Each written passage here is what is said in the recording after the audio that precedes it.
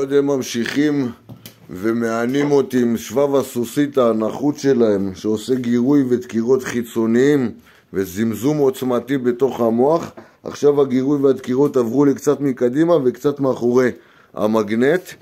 אה, גם בשעה 11:52 ביום שישי 27 בינואר שנת 2023 והם גם מונעים ממני שינה.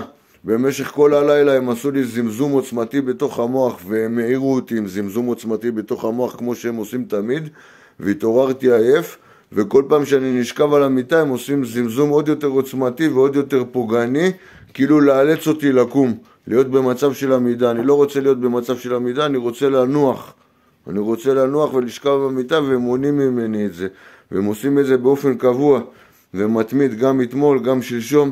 מנסים לגרום לי לשוטט שאני סהרורי, מוזנח ומרושל, צריך לעזור לו בכל מיני מקומות. אני לא רוצה לשוטט בשום מקום ולא להסתובב בשום מקום ולא ללכת אל אף מקום. והם מנסים לכפות את זה עליי, מנסים לנהל אותי, מה לעשות, מתי לשבת, מתי לקום, מתי להיכנס להתקלח, לא לקיים יחסי מין, מתי לישון, מתי להיות ער. מתי ללכת, מתי לחזור, מתי לישון בבית, מתי לישון, מתי לישון במערה. מנסים לנהל אותי, ככה, במשך כל היום, לנהל לי את הסדר יום שלי, מה אני אעשה ומה אני לא אעשה, מתי אני אשב ומתי אני אשכב. פליצות בני פליצות מירושלים, חילות המין האנושי, מנסים לנהל אותי, לקבוע לי מתי אני אשכב לנוח ומתי אני אשב ומתי אני אלך ומתי אני אתרוצץ.